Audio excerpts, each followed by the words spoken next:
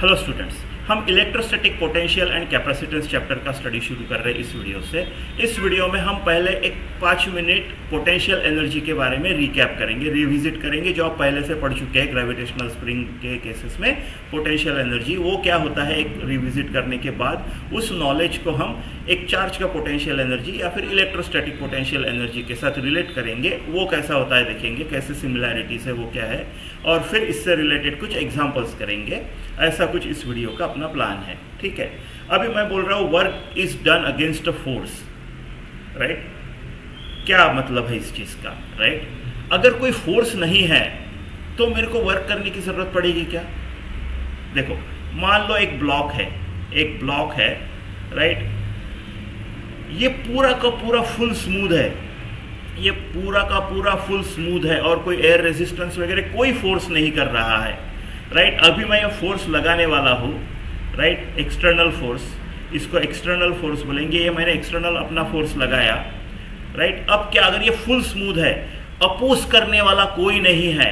कोई अपोज करने वाला है ही नहीं यहाँ पे। अपोज करने वाला कोई फोर्स है ही नहीं। तो मेरे को फोर्स लगाने की सच में ज़रूरत है। राइट अगर फुल फ्रिक्शनलेस सरफेस है तो मेरे को फोर्स लगाने की ज़रूरत नहीं है। उस हवा का छोटा सा भी कुछ आया तो भी वो फुल राइट अपना मोशन शुरू कर देगा।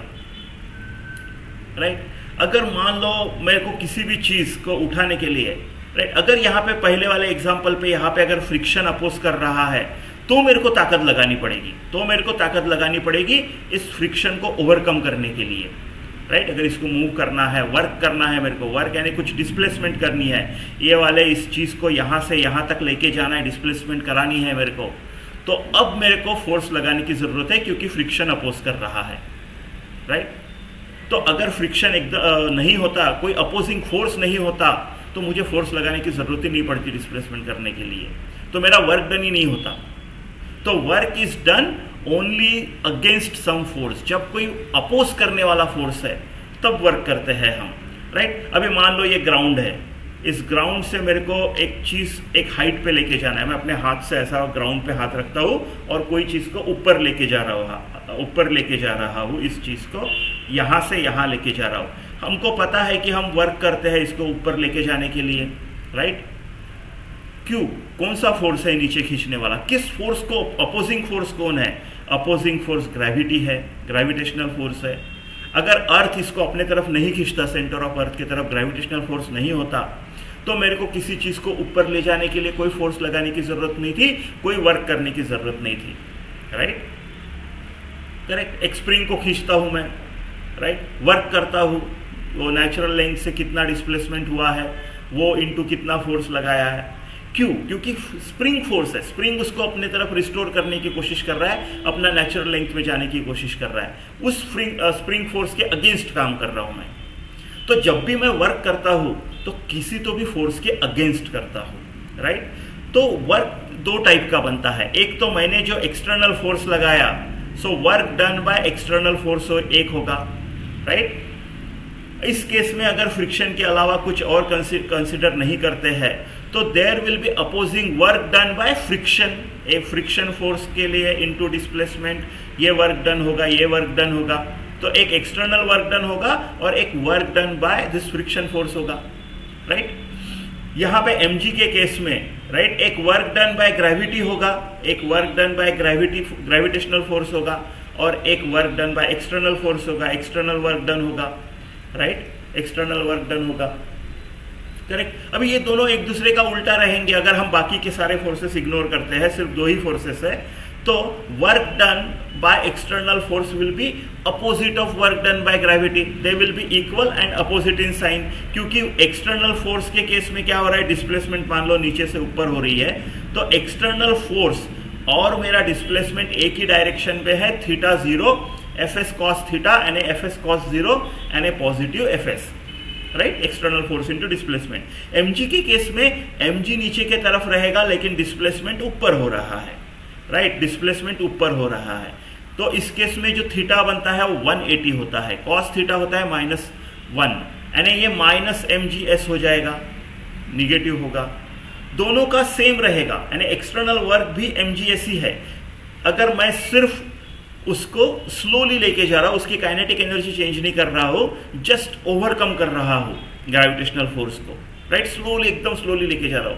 तो मेरा इक्वल रहेंगे दोनों राइट अगर एक्सेलरेट किया तो फिर वो अलग हो जाएगा, फिर total energy total work done देखना पड़ेगा फिर। ठीक है?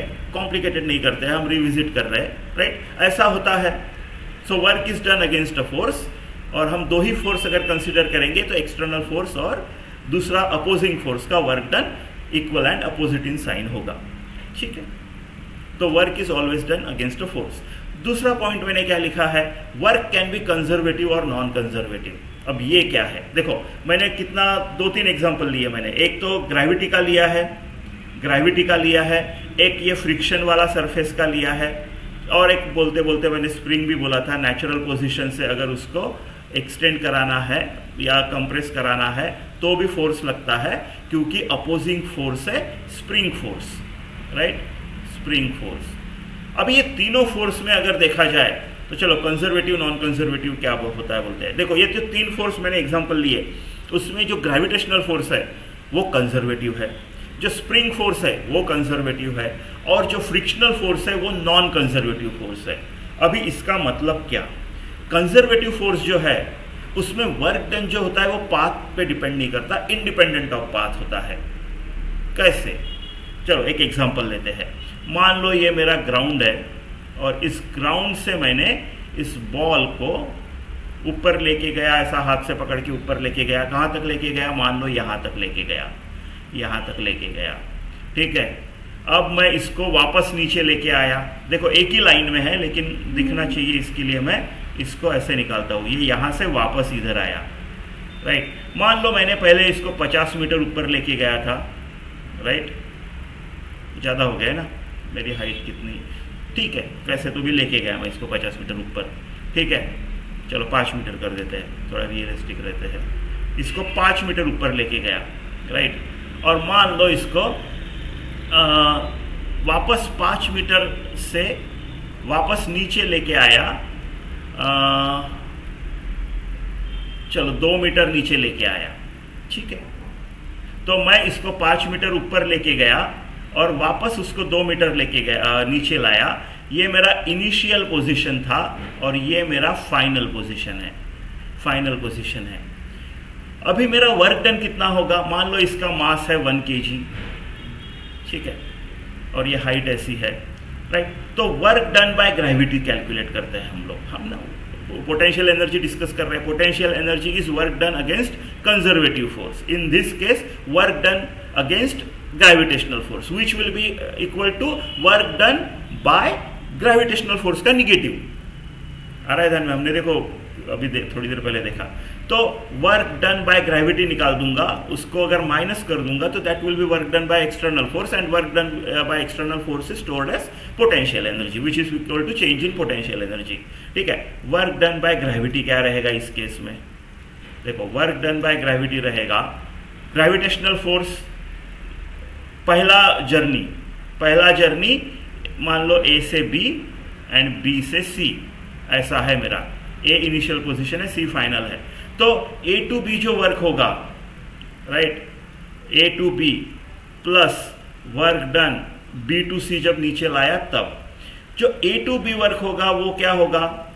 एम जी नीचे के तरफ़ ए टू बी जब जा रहा हूँ मैं, जब ए टू बी जा रहा हूँ तो यहाँ पे एम जी नीचे के तरफ़ है फोर्स ग्रेविटेशनल लेकिन मेरी डिस्प्लेसमेंट ऊपर हो रही है पाँच मीटर की राइट वर्क क्या होता है right F S cos theta right यहाँ पे थीटा क्या है? एम जी नीचे राइट एम जी नीचे। और एस ऊपर। देखो, हमेशा एंगल जब फाइंड करना है ना दो, इसका वेक्टर का तो उनकी पूछ साथ में जोड़ते हैं। उनकी पूछ साथ में जोड़ते हैं, तब वो एंगल मिलता है। 180 है। 180 डिग्री है राइट तो मेरा work done cos 180 eighty minus one होता है। यानी मेरा वर्क डन जो आएगा ए बी वाला वो आएगा एम जी मेरा फोर्स और आ, मेरी डिस्प्लेसमेंट पाँच मीटर और मेरा cos eighty minus one right M कितना है? वन यानी जी यानी ये आ जाएगा मेरा ए बी वाला जो वर्क है वो minus one minus one mass into G right into five displacement minus five G मेरा वो वर्क आएगा राइट प्लस अब जब मैं बी से सी जा रहा हूँ बी से सी जा रहा हूँ, अब मेरा एम भी नीचे है और वर्क टन भी यानी क्या बोलते उसको फोर्स भी नीचे है और डिस्प्लेसमेंट भी नीचे है। अब अगर मैं इनके पूछ साथ में जोड़ू दोनों वेक्टर के तो उनके बीच में एंगल ज़ीरो होगा। कॉस ज़ीरो इज़ वन अब मैं डिटेल में नहीं लिखता हूँ but cos zero is one यानी मेरा एम जी इंटू डिस्प्लेसमेंट तो ये टू जी आएगा। एम वन है तो टू जी आएगा। टू एम जी डिस्प्लेसमेंट तो एम वन है तो टू जी यानी मेरा आया minus five G plus two G minus three G यह हो गया मेरा work done by gravity work done by external force क्या लिखूं मैं? Work done by external force जो आएगा मेरा, वो आएगा three G opposite right three G इसका मतलब मेरा चेंज इन पोटेंशियल एनर्जी क्या हुआ? Change in potential energy is work done by external force right और negative of work done by opposing force तो वर्क मेरा चेंज इन पोटेंशियल एनर्जी आएगा three G या फिर जो टोटल वर्क डन आया, वो इतना आया minus three G by gravity total work done by total work done by मेरा ये जो एक्सटर्नल फोर्स आएगा, वो आएगा थ्री जी राइट? अब मैं क्या करता हूँ, इसी बॉल को ग्राउंड से ये ऊपर जाएगा, फिर नीचे आएगा, उससे अच्छा मैं क्या करता हूँ, इस वन के को डायरेक्ट ऊपर लेके जाता हूँ थ्री मीटर। राइट? अभी भी वही हो गया। ये ग्राउंड से तीन मीटर पे था पहले के केस में, राइट? अभी भी ये ग्राउंड से थ्री थ्री मीटर ही है। यानी मेरा इनिशियल फाइनल पोजीशन सेम है। अभी मैं ए से डायरेक्ट सी लेके गया। अभी भी मेरा इनिशियल पोजीशन और फाइनल पोजीशन वही है जो इस केस में था, पहले वाले केस में था। अभी भी वही है। राइट तो अभी मेरा क्या आएगा? टोटल वर्क डन ठीक है। एक ही आएगा अभी टोटल वर्क डन यानी एक ही चीज़ है। Total work done by gravity gravitational force तो वो आएगा minus M G S right क्योंकि एम जी नीचे है और मैं ऊपर लेके जा रहा हूँ। मैं ऊपर लेके जा रहा हूँ एस और एम जी तो हमेशा वर्टिकली डाउनवर्ड ही होता है। राइट तो माइनस एम जी एस इसका वज़न कितना बोला था हमने? एक किलो। जी तो जी है और एस अभी तीन मीटर है। तो माइनस थ्री जी सेम आया। सेम आया। कुछ फ़र्क पड़ा, मैं ऊपर गया, फिर नीचे आया या फिर डायरेक्ट उधर गया, कुछ फ़र्क नहीं पड़ा। आप करके देखो, आप ऊपर जाओ और ऊपर जाओ, नीचे आओ और ऊपर जाओ final position initial position same रखो, आपको सेम मिलेगा। ये तो मैं सीधा वर्टिकल बोल रहा हूँ। आप कोई और भी पाथ फॉलो करो प्रोजेक्टाइल टाइप पाथ फॉलो करो, वही आएगा। वही आएगा right so total external work done हो जाएगा मेरा इस केस में। थ्री जी राइट फिर से चेंज इन पोटेंशियल एनर्जी आएगा थ्री जी तो ये वाले जो है right total work done so total work done is independent of path path से कोई फ़र्क नहीं पड़ता है। Total work done is independent of path उसको बोलते हैं, ये शायद दिख नहीं रहा होगा right so change in potential energy is equal to three G right correct तो total work done is independent of path taken ऐसे जो फोर्सेस होते हैं, इनको बोलते हैं कंजर्वेटिव फोर्सेस आपका स्प्रिंग में भी वही होगा राइट right? स्प्रिंग की ये नेचुरल मैं स्प्रिंग को कैलकुलेट नहीं करूँगा, लेकिन ऐसे ही एक्सप्लेन करूँगा। ये स्प्रिंग का नेचुरल लेंथ है। अब मैंने फोर्स लगा के इस स्प्रिंग को मान लो, बढ़ा दिया। इतने से एक्स एक्सटेंशन किया मैंने। एस एक्सटेंशन किया राइट right? तो वर्क डन क्या होगा? इस केस में अरे हमको वापस भी लाना पड़ेगा ना, हमको चेंज इन पोजीशन दिखाना है राइट तो मान लो यहाँ से इतना एक्सटेंड किया मैं तो यहाँ पे पोटेंशियल एनर्जी चलो दूसरी इसमें लेते हैं। तो यहाँ पे पोटेंशियल एनर्जी यहाँ पे वर्क डन कितना होगा? Work done by external force ये मैंने एक्सटर्नल फोर्स लगा के इसको एक्सटेंड किया। तो मेरा जो work done by external force होगा राइट वो होगा external force into displacement X right work done by spring force क्या होगा? सीधा इसका अपोजिट बाकी सब इग्नोर कर रहे हैं राइट वो हो जाएगा minus F X F external into X बराबर है? वर्क डन क्या होगा? राइट हमको पता है स्प्रिंग फोर्स होता है minus K X right minus K X होता है ये राइट के स्प्रिंग कांस्टेंट होता है, आप पढ़ चुके हो ग्यारहवीं में तो वर्क डन ये तो फोर्स हो गया और इनटू डिस्प्लेसमेंट राइट ये ऐसा हो गया। तो फोर्स माइनस के एक्स और ये लगा दिया मैंने तो माइनस इसको इंटीग्रेट करेंगे तो हाफ़ के एक्स स्क्वायर आता है right half K X square आता है। आप डायरेक्टली ऐसा ये नहीं कर सकते। It's not a constant force तो हाफ़ के एक्स स्क्वायर आएगा right half K X square आएगा। ठीक है? तो पोजीशन के ऊपर डिपेंड नहीं करता। अभी आपको दिख गया कि एक्स के ऊपर डिपेंड करता है वो वर्क डन राइट तो आप इधर से इधर गए, फिर इधर से इधर आए, फिर इधर से इधर गए और फिर इधर से इधर आए। एज लॉन्ग एज मेरी ये वैल्यू सेम है तो मैंने कौन सा भी रास्ता लिया, फ़र्क नहीं पड़ता है। मेरा पोटेंशियल एनर्जी एक्स के ऊपर डिपेंड करता है right work done right is independent of path taken ऐसे केस को हम बोलते हैं। जो कंजर्वेटिव होता है, उसमें मैकेनिकल एनर्जी यानी K E plus PE conserve होती है कांस्टेंट होती है, कोई भी पोजीशन पे ले लो। मतलब क्या है?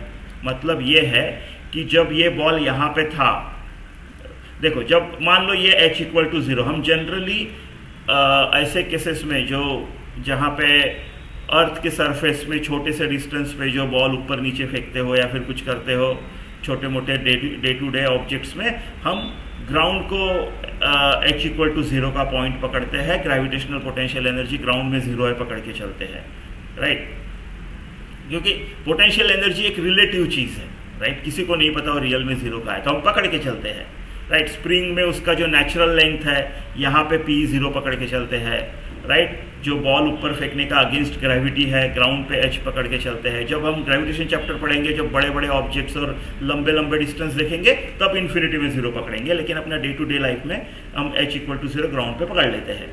राइट तो एच इक्वल टू ज़ीरो आप यहाँ पे पकड़ोगे। राइट तो फिर यहाँ पे मेरे पास पोटेंशियल एनर्जी ज़ीरो था। तो काइनेटिक एनर्जी कुछ रहेगा। राइट अब जैसे जैसे मैं ऊपर जाऊँगा पोटेंशियल एनर्जी बढ़ेगा उसका। लेकिन काइनेटिक एनर्जी कम होगा। राइट फिर मैं तो फिर मैं यहाँ पे मान लो सेंटर में आ गया तो एमजीएच जो है मेरा पोटेंशियल एनर्जी वो आधा हो जाएगा तो बाकी आधा काइनेटिक एनर्जी होगा। तो के ई प्लस पीई कॉन्स्टेंट रहता है, आप पता है आपको राइट पता है। सेम इसका भी राइट जब ये फुल अपना एक्सट्रीम एंड पे जाएगा स्प्रिंग राइट तब उसके ऊपर पोटेंशियल एनर्जी मैक्सिमम होगा काइनेटिक एनर्जी ज़ीरो होगा, क्योंकि वो रुक जाएगा वहाँ पे राइट आप उसको ये करो खींचो और छोड़ दो तो वो ऑसिलेट करना शुरू करेगा। तो एकदम ये वाले पॉइंट पे उसका पोटेंशियल एनर्जी ज़ीरो होगा राइट यहाँ ये वाले पोटेंशियल एनर्जी मैक्स होगा यहाँ पे। यहाँ पे पोटेंशियल एनर्जी ज़ीरो हमने पकड़ा है रिलेटिव होता है, यहाँ पे हमारा ज़ीरो नेचुरल लेंथ वाला है। यहाँ पे पी ज़ीरो होगा, लेकिन फिर वो सारा पी जो इधर इधर मैक्सिमम पी था के ही ज़ीरो था। यहाँ का सारा पी यहाँ पे के में कन्वर्ट हो गया। इस पर मैक्सिमम स्पीड वाला मैक्सिमम के वाला पोजीशन हो गया। यहाँ पे पी ज़ीरो है। लेकिन दोनों का एडिशन वही रहेगा। बीच में कहीं पकड़ोगे, यहाँ पे कहीं पकड़ोगे तो इसके पास केई भी रहेगा पी भी रहेगा, लेकिन दोनों का एडिशन उतना ही रहेगा जितना यहाँ पे पी था या फिर यहाँ पे के था। तो ये कंजर्व होती है मैकेनिकल एनर्जी फ्रिक्शन में नहीं होता है राइट इस स्प्रिंग में अगर आप एक ब्लॉक लगा दो ऐसा। मान लो ये सरफेस है और ये ब्लॉक है। ये उसका नेचुरल लेंथ था, यहाँ पे P इक्वल टू ज़ीरो है राइट ये फुल फ्रिक्शन वाला है, ये फुल रफ सरफेस है। क्या लगता है अभी आपको राइट आपने कुछ फोर्स लगाया, इसको इतना एक्सटेंड किया, इसको पकड़ पकड़ पकड़ के यहाँ पे लेके आए राइट यहाँ पे लेके आए। इसमें पोटेंशियल एनर्जी फुल स्टोर हो गया। जो भी आपने एक्सटर्नल वर्क डन किया, सब पोटेंशियल एनर्जी करके स्टोर हो गया। आपने इसको छोड़ दिया। क्या लगता है, इधर का सारा का सारा पोटेंशियल एनर्जी यहाँ पे के ही बनेगा? नहीं, बीच में फ्रिक्शन खा जाएगा थोड़ी एनर्जी हीट के फ्रिक्शन होगा, गर्म होगा हीट के फॉर्म में चली गई, वो चली गई, वापस नहीं आएगी, उसको रिकवर नहीं कर सकते हैं। मैकेनिकल एनर्जी कंजर्व नहीं होगा। फ्रिक्शन क्योंकि एक नॉन कंजर्वेटिव फोर्स है। तो आपको conservative force non conservative force इससे रिलेटेड के ही है राइट कंजर्वेटिव फोर्स के अगेंस्ट वाला वर्क डन ही पी करके स्टोर होगा राइट फ्रिक्शन वाले इस केस में अगर पी स्टोर भी हो रहा है, इस केस में पी स्टोर भी हो रहा है, वापस मान लो ये गया वापस इधर गया फ्रिक्शन कम था इसके लिए वो आ, आना जाना कर रहा है। लेकिन उसका फिर ये रेंज कम होते जाएगा राइट क्योंकि क्योंकि फ्रिक्शन में थोड़ा बहुत एनर्जी वेस्ट होता रहेगा। तो potential energy next time next to next time जो पोटेंशियल एनर्जी स्टोर होगा मान लो मैक्सिमम एंड पे राइट वो कंजर्व नहीं होगा क्योंकि कम हो गया ना वो वो चला गया फ्रिक्शन में। कंजर्व नहीं होगा। तो कंजर्वेटिव में ही ये जो दोनों प्रॉपर्टीज़ है, ये सिर्फ़ कंजर्वेटिव में लगते हैं। ये कंजर्वेटिव फोर्सेस की प्रॉपर्टीज़ है। राइट कंजर्वेटिव फोर्सेस की प्रॉपर्टीज़ है। Work done against conservative force work done against conservative force friction भी था और वो मूव भी कर रहा था। तो सिर्फ़ कंजर्वेटिव फोर्स के अगेंस्ट जो डिस्प्लेसमेंट होगी इनटू दैट फोर्स उतना ही पोटेंशियल एनर्जी स्टोर होगा। बाकी फ्रिक्शन में उड़ गया। नेक्स्ट टाइम वापस कम हो गया फ्रिक्शन में उड़ गया, फिर जो कंजर्वेटिव फोर्स के अगेंस्ट में वर्क होगा, उतना ही। ठीक है? अगर मल्टीपल है तो मैं यहाँ पे दोनों ले रहा हूँ राइट पीई इज़ रिलेटिव एक जगह पे रिलेटिव पकड़ लेते हैं हम, जो अपना ग्रेविटेशन के अगेंस्ट वर्क करते हैं डे टू डे ऑब्जेक्ट्स में नॉट बड़े बड़े ऑब्जेक्ट्स राइट उसमें हम ग्राउंड पे ज़ीरो पकड़ते हैं राइट जब बड़े बड़े ऑब्जेक्ट्स लेंगे इन्फिनिटी में ज़ीरो पकड़ेंगे स्प्रिंग हम आ, उसका नेचुरल लेंथ पे ज़ीरो पकड़ते हैं जब इलेक्ट्रोस्टैटिक्स पढ़ेंगे तब हम इन्फिनिटी में ज़ीरो लेंगे राइट रिलेटिव है। इलेक्ट्रोस्टैटिक फोर्स जैसे स्प्रिंग और ग्रेविटेशनल राइट ये सारा तुम्हारा इंटरमोलिकुलर ये सारा जैसा कंजर्वेटिव है वैसा ही इलेक्ट्रोस्टैटिक फोर्स भी एक कंजर्वेटिव फोर्स है। And a work done against electrostatic force भी पोटेंशियल एनर्जी करके स्टोर होगा। किसमें स्टोर होगा? चार्ज में। पोटेंशियल एनर्जी एक्स्ट्रा चार्ज का रहेगा चार्ज में स्टोर रहेगा और कितना रहेगा? Work done against electrostatic force ठीक है? अभी हमने थोड़ा सा रिलेट किया इसको। पहले पोटेंशियल एनर्जी क्या है? कंजर्वेटिव फोर्स क्या है? फिर हमने बोला कि हाँ इलेक्ट्रोस्टैटिक भी कंजर्वेटिव फोर्स है। तो उसके अगेंस्ट में काम किया हुआ भी पोटेंशियल एनर्जी करके स्टोर होगा चार्ज में। ठीक है?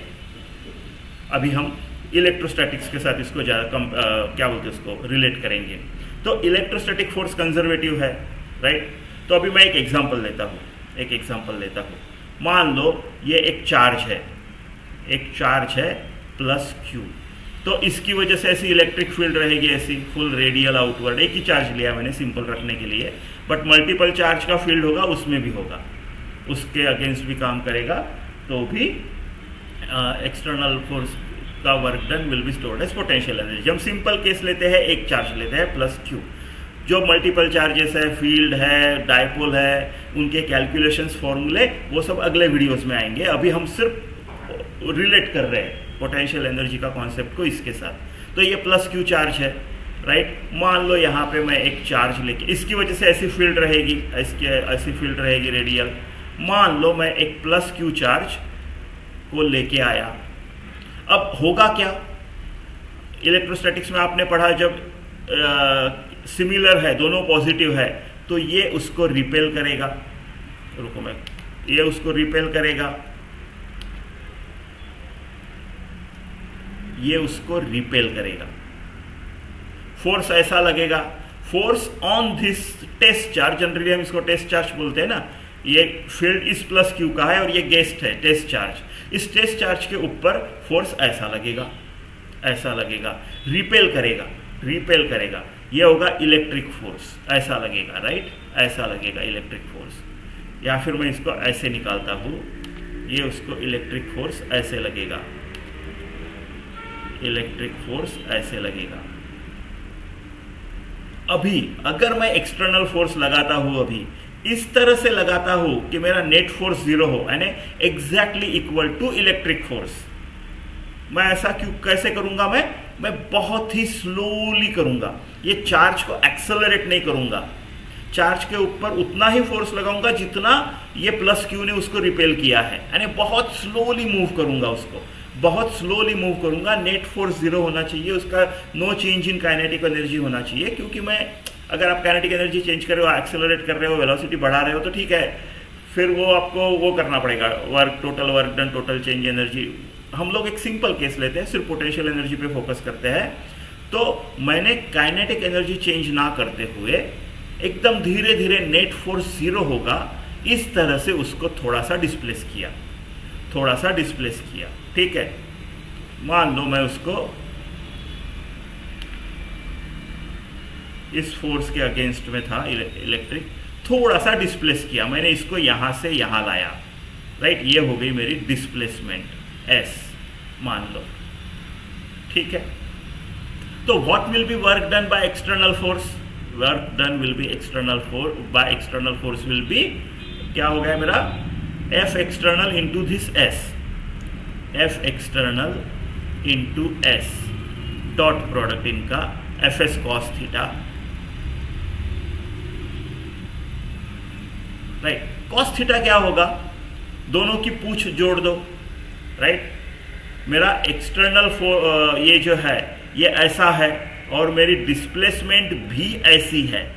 दोनों की पूछ अगर जोड़ दूँ तो ओवरलैप होंगे एंगल ज़ीरो होगा cos zero is equal to one मतलब एफ़ एक्सटर्नल इंटू एस ये होगा मेरा work done by external force work done by external force is done against conservative electrostatic force right work done by external force against conservative force is stored as potential energy तो इतनी potential energy store हो जाएगी change in potential energy change in potential energy इतनी हो जाएगी right और इसको मैं ऐसा भी लिख सकता हूँ minus of work done by electric force work done by अच्छा E for external electric E L E लिख देता हूँ electric force work done by electric force जो है, उसका माइनस जो होगा, वो चेंज इन पोटेंशियल एनर्जी होगा. मतलब मेरी पोटेंशियल एनर्जी मान लो इस चीज़ को मैं बोलता हूँ ए पोजिशन इसको बोलता हूँ बी पोजिशन मेरा इनिशियल पोजिशन ए है फाइनल पोजिशन बी है. Potential energy at final position minus potential energy at initial position u final minus u initial is equal to, right, change in minus of electrostatic force into displacement, right? And हमको electrostatic force क्या पता होता है? पता होता है के Q one Q two by R square right one upon four pi epsilon naught Q Q upon S का स्क्वायर राइट ये होगी मेरी potential energy change in potential energy अगर ये फोर्स का वैल्यू पता है तो ठीक है that force into positive work done by external force is stored और negative of work done by conservative force जिसके अगेंस्ट में काम किया। कंजर्वेटिव फोर्स के अगेंस्ट में काम करोगे, तभी आपका स्टोर होगा पोटेंशियल एनर्जी ठीक है ठीक है। ये सारा पार्ट डिटेल में अगले वीडियोस में देखना ही है।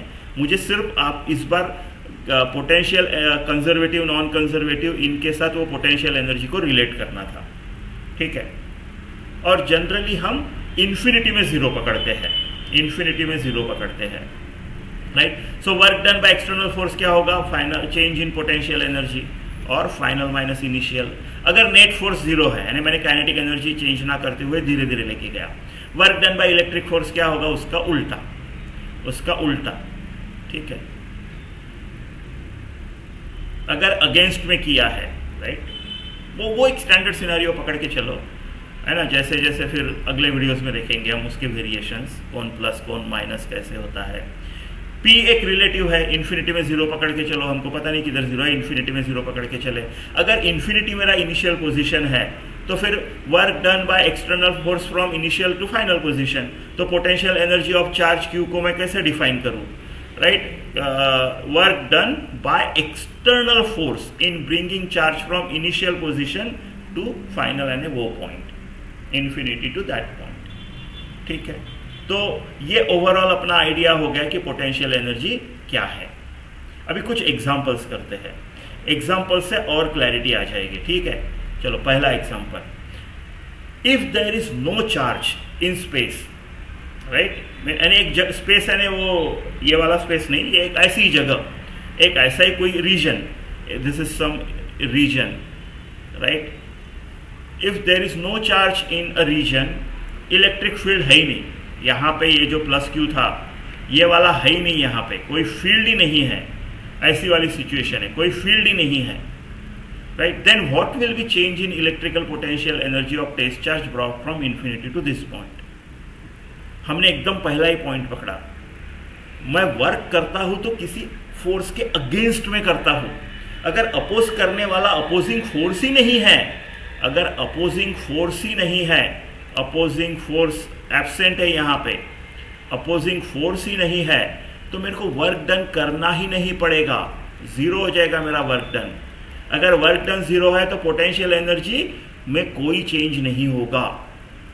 पोटेंशियल एनर्जी में कोई चेंज नहीं होगा। Work done by external force stored in change in potential energy यहाँ तो वर्क डन हुआ ही नहीं है, क्योंकि अपोज करने वाला कोई फोर्स ही नहीं था, है ना? ज़ीरो ये वाला देखो which of below statements are correct ये आप थोड़ा वीडियो पॉज करके सोचो।